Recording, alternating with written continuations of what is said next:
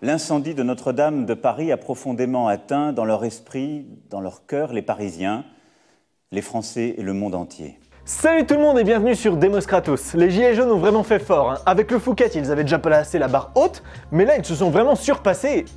Quoi? Comment ça, c'est pas les Gilets jaunes? J'ai mon, mon scénario sous les yeux là. C'est un accident. Putain. Bon, et sinon, le grand débat euh, super démocratique là, ça en est où? Je sais en quelque sorte euh, l'espèce de fausse impatience qui voudrait que il faut réagir à chaque instant, pouvoir dire les annonces qui étaient prévues à telle date, comme si être à la tête d'un pays n'était qu'administrer des choses et pas être conscient de notre histoire, du temps, des femmes et des hommes.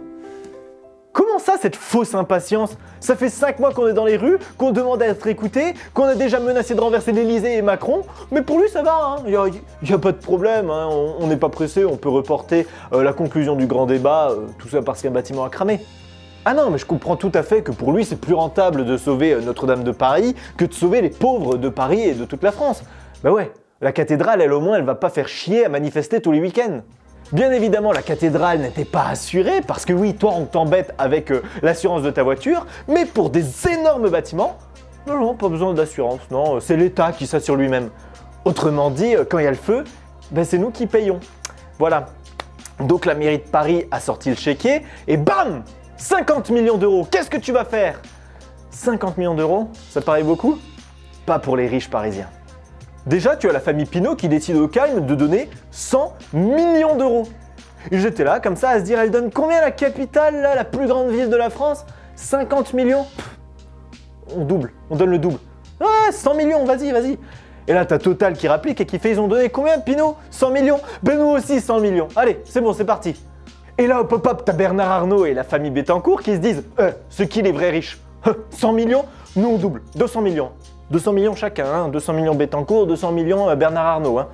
Voilà, juste avec la bourgeoisie parisienne, on a récolté un milliard d'euros pour financer euh, la reconstruction de Notre-Dame de Paris. Au calme.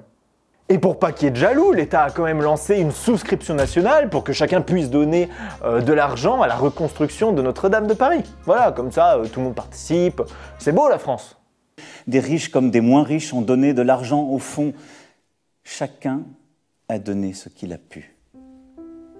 Chacun à sa place. Chacun dans son rôle. Et je vous le dis ce soir avec force. Nous sommes ce peuple de bâtisseurs. Nous avons tant à. Alors oui, nous rebâtirons la cathédrale Notre-Dame. Oui, oui, vous avez bien entendu le président de la République là. Chacun à sa place, chacun dans son rôle. 10 milliardaires peuvent tranquillement donner euh, 1 milliard d'euros euh, pour reconstruire Notre-Dame, tandis que tout le reste de la population française va réussir à réunir quelques petits millions. Mais ça passe, c'est normal. euh. L'incendie de Notre-Dame révèle encore une fois l'étendue des inégalités en France, mais surtout la faiblesse de la puissance publique face à la bourgeoisie. Bah ouais, quand t'as la plus grande ville de France, la capitale, hein, qui arrive à aligner 50 millions, mais que derrière t'as trois familles seulement qui arrivent à réunir 500 millions, bah ça veut tout dire. Et là, on est en droit de se poser une petite question quand même de pourquoi est-ce que la bourgeoisie veut à tout prix sauver euh, la cathédrale de Notre-Dame, quitte à débourser des centaines de millions d'euros? Bon, moi la première réaction que j'ai eue, bah, déjà ça a été de péter un câble et d'écrire une vidéo, et la seconde réaction que j'ai eue, c'était de me dire, non, mais de toute façon les riches ils s'en foutent, parce que les dons c'est déductible des impôts. Donc au pire, euh, l'État va leur rembourser 60 à 90% du don. Donc ça va.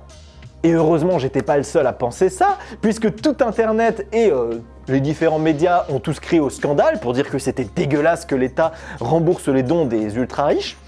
Et euh, là, la bourgeoisie a commencé à flipper. Elle s'est dit merde, ils ont compris, les gens, ils sont pas cons. Du coup, ils ont joué le tout pour le tout et ils ont dit non, non, mais nous, on renonce à la déduction des impôts. On vous donne cet argent de bon cœur. hein. Parce qu'il faut pas oublier que ça fait plus de 5 mois que tu as les pauvres qui sont dans la rue et qu'ils menacent d'aller pendre les riches.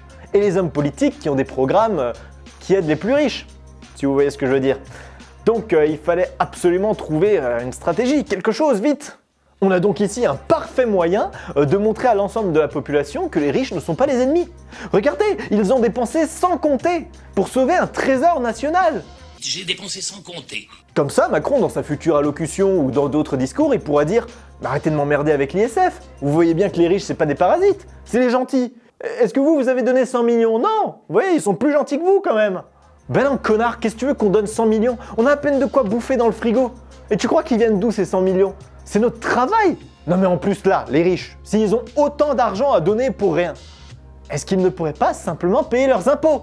Je pose la question Et vous savez quoi? Les cons ça tout et c'est même à ça qu'on les reconnaît. Et ces cons, ils se sont mis à citer Victor Hugo. Notre-Dame de Paris, euh, oui Victor Hugo c'était trop bien. Les gars, si Victor Hugo il était là aujourd'hui, ok, il vous remercierait peut-être pour tous vos dons euh, euh, pour sauver la cathédrale. Mais il vous dirait aussi a les misérables derrière, hein. Faut aussi les sauver eux. Bon, je m'énerve, je m'énerve, je vais me calmer, mais c'est assez scandaleux quand même, hein. Vraiment. Euh, et moi, ce que je comprends pas, c'est comment ça se fait qu'il tente un coup de com euh, à plusieurs centaines de millions d'euros sur un bâtiment, alors qu'il pourrait le faire en payant par exemple des habitations pour tous les sans-abri de France. Bah, ce serait plus rentable, non? Mais là, on se rappelle les petits cours de Sciences Po, les petits livres de Machiavel qui t'expliquent comment euh, dominer le peuple. Et on se rappelle que le but de l'État et euh, de la bourgeoisie qui le contrôle, c'est pas tellement d'offrir à chaque euh, citoyen euh, de bonnes conditions de vie. Non, le but c'est de les laisser assez dans la galère pour qu'ils soient toujours dépendants de l'État. Comme ça, on assoit notre domination sans rien demander. Bon, là, il y en a beaucoup d'entre vous qui doivent se dire Non, mais, mais Julien, tu dis des conneries là Notre-Dame de Paris, c'est le symbole de la nation française, c'est le symbole de notre histoire, le symbole de notre culture. Ne vois-tu pas, Julien? Que c'est le symbole de... Oui, j'ai compris. Mais alors, moi, j'aimerais juste savoir, c'est le symbole de quelle histoire?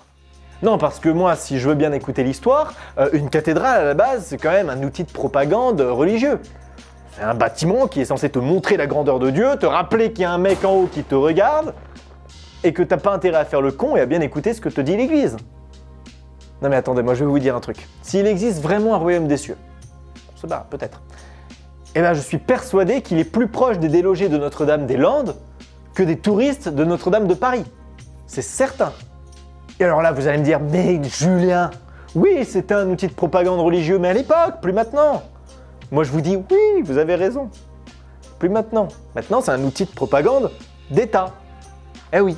Euh, euh, on vous fait croire que ouah, la nation française, son symbole, c'est l'arc de triomphe, c'est la tour Eiffel, c'est Notre-Dame de Paris. Et comme ça, ça permet d'unifier artificiellement hein, le peuple autour des quelques dominants euh, qui dirigent. C'est pas anodin si Emmanuel Macron récupère autant cet événement et a carrément décidé d'annuler l'allocution où il devait présenter les conclusions du grand débat pour la remplacer par une allocution exclusivement sur l'incendie de Notre-Dame. Bah oui, il faut sauver l'image de notre nation avant d'en sauver ses habitants. L'État-nation, la machine étatique, est ce qui permet à la bourgeoisie de s'enrichir très rapidement, notamment via le processus de privatisation. On en reparlera sur la chaîne. Vous comprenez donc pourquoi euh, la bourgeoisie a tout intérêt à préserver, à reconstruire le plus vite possible euh, les symboles de cet État-nation. Et alors pour ceux qui disent que Notre-Dame c'est notre culture, euh, non, c'est pas la mienne. Et c'est pas celle de la majorité des Gilets jaunes, qui étaient même jamais allés à Paris avant les premières manifestations. Comment ça se fait qu'en quelques jours, on arrive à trouver un milliard pour sauver le symbole de la nation, mais qu'en quelques semaines, quelques mois, on n'arrive pas à trouver des milliards pour sauver les habitants de cette nation, ou même, euh, allons un peu plus loin, pour sauver la planète. Je suis dégoûté de voir qu'on a préféré mettre en avant euh, un incendie de cathédrale plutôt que le grand débat qui devait quand même revitaliser toute la démocratie française. Je suis dégoûté qu'on soit plus attristé pour l'incendie d'un bâtiment que pour le spécicide, le biocide et l'écocide en cours. On nous a conditionnés à avoir plus d'empathie pour un symbole anthropocentré de notre civilisation que pour toute la planète sur laquelle on vit. La cathédrale de Notre-Dame de Paris existe depuis près d'un millénaire. Elle nous fait croire que l'humanité est immortelle. Quand il y a un incendie, on se dit vite, il faut reconstruire ça pour prouver que notre civilisation, malgré les quelques petits problèmes, restera toujours debout. Moi je suis là, je m'excite dans ma chambre, je fais des vidéos sur YouTube, j'essaye de, remuer un peu tout le monde, de me remuer moi. Mais est-ce que ça changera quelque chose?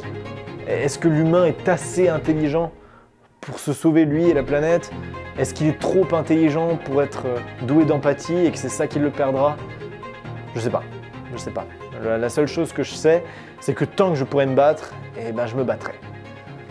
Voilà. J'espère que vous continuerez à vous battre à nos côtés sur Demos Kratos aussi longtemps euh, que ce sera possible. Je vous remercie de nous soutenir en, likant, en partageant, en, nous donnant de l'argent sur Tipeee. Euh, voilà, merci pour tout. Que le combat continue et à la semaine prochaine.